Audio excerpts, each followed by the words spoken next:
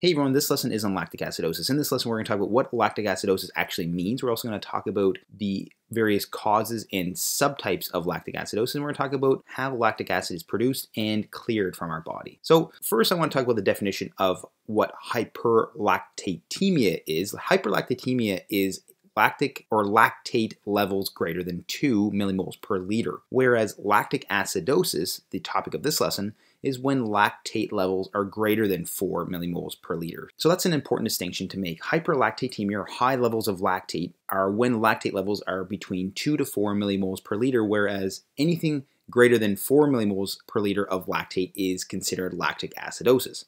So why is lactic acidosis important? Well, it is the most common cause of metabolic acidosis in hospitalized patients. And it occurs when lactic acid production exceeds the clearance of lactic acid. That makes sense. And lactic acid itself is cleared by the liver. Now, it's normal to make lactic acid, and a normal daily production of lactic acid is generally from 15 to 20 millimoles per kilogram of body weight. And we make lactic acid through glucose utilization and alanine deamination. Lactic acid can then be processed by the Cori cycle to produce glucose. So about 15 to 20% of lactic acid is processed in this way. And the most of the rest of the lactic acid undergoes primary oxidation to carbon dioxide and water. About 70 to 80% of the lactic acid undergoes this process. So we've talked about how glucose utilization and alanine deamination can produce lactic acid. So I'm going to talk about the pathways here. So glucose can be directed into several different pathways. It can be directed into glycogen production, or it can be utilized in glycolysis, and generally it occurs in muscles. And the end product of glycolysis is pyruvate, and that's essentially where our story begins. So when there's oxygen present, pyruvate can be directed into the mitochondria to undergo the TCA cycle, or the pyruvate can be converted into alanine by the enzyme alanine aminotransferase or ALT. So essentially glutamate can add a amino group to the pyruvate to form alanine and vice versa because this enzyme is a reversible enzyme alanine can be converted into pyruvate by deamination and pyruvate can also be acted on by the enzyme lactate dehydrogenase or LDH, essentially oxidizing an NADH to an NAD plus to form lactate or lactic acid. So lactate dehydrogenase does this. It oxidizes NADH to NAD plus so that NAD plus can be reused uh, in the glycolysis pathway when there's no oxygen present. So essentially, whenever we have oxygen, we can route pyruvate into the TCA cycle. If there's no oxygen present, so anaerobic conditions, we can essentially recycle the NADH to NAD plus to be used in glycolysis, and we have to use lactate dehydrogenase enzyme to convert the lact uh, convert the pyruvate to lactate. And vice versa, the lactate can also be converted into pyruvate under the right circumstances as well. So all of these can lead to the production of lactate or lactic acid. So alanine deamination can lead to the production of pyruvate, which can be routed into lactate as well. Now, the lactic acid can essentially be dumped into the blood through MCT1, and it can be buffered in the blood and exhaled in CO2, or it can be transferred and taken up by the liver and processed by the same enzyme, lactate dehydrogenase. So essentially in the liver, it does the opposite. So in the liver, we can take an NAD plus and reduce it to an NADH to produce pyruvate, and then we can then use the pyruvate in gluconeogenesis to produce glucose. So that's the Cori cycle. So we've got two ways of actually dealing with the lactate that's produced. It can either be buffered and exhaled as CO2, or it can be taken up by the liver and then processed via the Cori cycle to make glucose by glucose or gluconeogenesis. So you can imagine that if there's any issues with the liver, we can have a buildup of lactic acid. So this is the general schematic as to how lactic acid is produced and how it is processed in our body. So now that we know how lactic acid is produced and removed from our body, what are some of the causes of lactic acidosis? So lactic acidosis is again due to an excess accumulation of lactate. So anything that increases the production or decreases the utilization or removal of lactic acid can lead to lactic acidosis. So there are actually three main categories of causes of lactic acidosis. The first is an increased production of pyruvate. So this makes sense. If you're making more pyruvate, you might actually overwhelm TCA cycle uh, utilization, which can spill over and you can actually lead to increased production of lactic acid. So states like glycogen storage disease type 1, respiratory alkalosis, pheochromocytoma, beta agonists, and sepsis can all lead to an increased production of pyruvate. The second main category of cause is impaired mitochondrial utilization of pyruvate. So essentially, if there's an impaired mitochondrial utilization or impaired TCA cycle, the pyruvate is not going to be used. It's going to sit around. It's going to have to be processed by lactate dehydrogenase to essentially lead to the production of lactic acid. And the third main category of lactic acidosis causes is states of NADH accumulation or reduction of NAD plus to NADH ratio.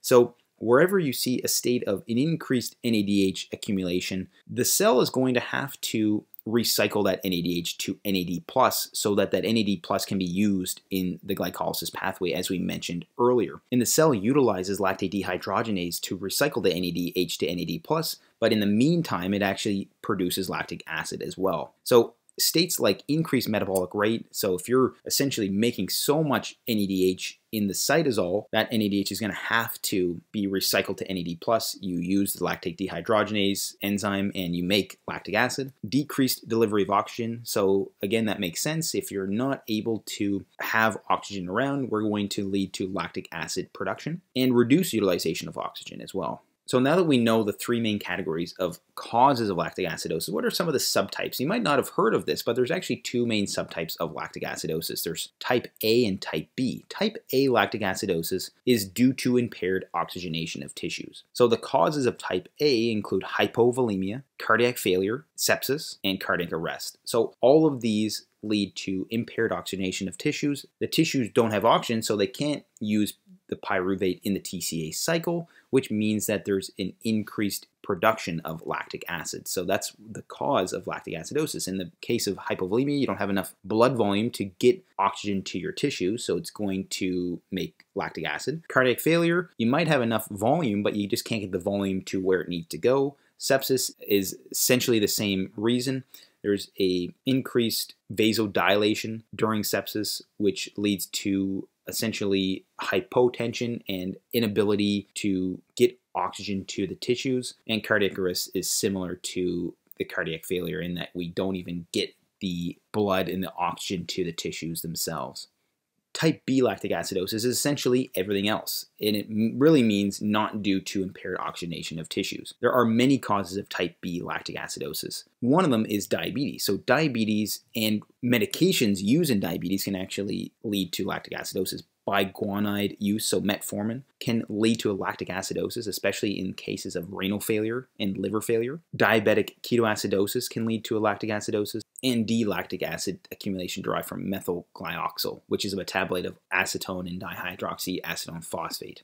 Another large cause of type B lactic acidosis is malignancy. So specifically malignancies that have high cell burdens like leukemia, lymphoma, and solid malignancies. These are generally due to the Warburg effect. So, the Warburg effect is when there is an increase in anaerobic metabolism, and generally, that with some cancers, specifically cancer cells within the center of a tumor, they can't get access to the oxygen like the cells closer to the blood supply. So they actually have to switch to anaerobic metabolism, which is called the Warburg effect. Alcoholism can be a cause of type B lactic acidosis.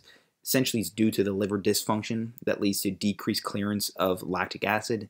And there's an increased NADH production that leads to reduced NAD plus to NADH ratios, which increase the conversion of pyruvate to lactic acid. So that's one of the three main categories of causes we talked about earlier. HIV infection can lead to a type B lactic acidosis. It's a sepsis induced lactic acidosis, not the same as the other type that we talked about in type A. Mitochondrial dysfunction, so certain mitochondrial diseases like MELAS. And another cause of type B lactic acidosis is beta agonists. So this is very interesting. So using IV epinephrine can actually lead to a type B lactic acidosis, and it does this because epinephrine increases glycogenolysis, so we, it increases glucose production, which will lead to increased pyruvate production. And epinephrine also leads to decreased GI perfusion. So it's almost like a type A lactic acidosis as well. And because we've got increased pyruvate production and decreased GI perfusion, this is all going to lead to increased lactic acid production. So both of these contribute to the type B lactic acidosis that's caused by beta agonists. Anyways, I hope you found this lesson helpful. If you did, please like and subscribe for more lessons like this one. And as always, thank you so much for watching, and I hope to see you next time.